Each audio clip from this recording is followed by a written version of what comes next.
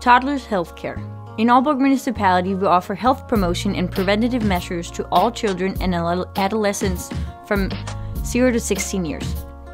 The offer is free, and the purpose of the healthcare offer is to ensure children's healthy growth and to create favorable conditions for a healthy life as an adult.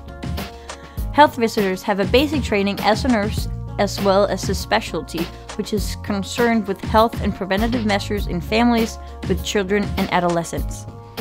They therefore have both extensive experience and professional knowledge both on health, diseases, and children's overall well being. In Aalborg, we offer pregnancy visits as needed and preferably before the 30th week of pregnancy.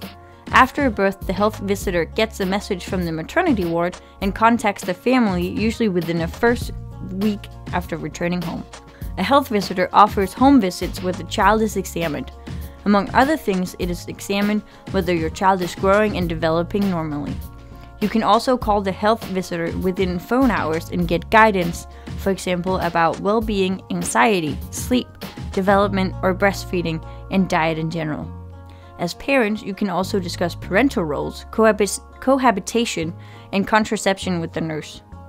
The health visitor offers between 3 to 7 visits or consultations in the child's first year. Consultations take place in the health visitor's office and are agreed individually.